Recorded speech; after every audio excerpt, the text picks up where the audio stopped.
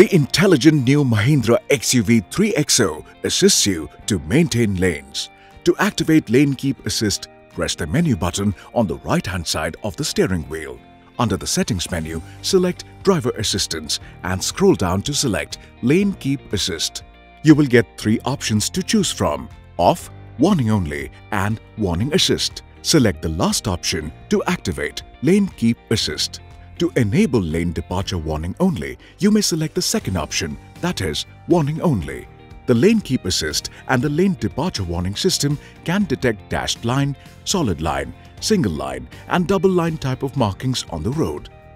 When lanes are not detected by the system, lane warning will be in standby mode and lane departure warning telltale on the cluster will be displayed in white color. Similarly, when the system is able to detect the lanes, the lane markings on the instrument cluster will turn to green color.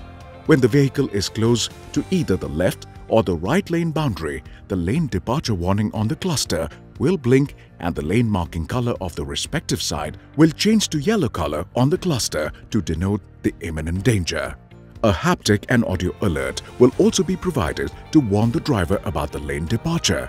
The warning will be stopped either when the vehicle changes the lane completely or if the vehicle returns to the original lane.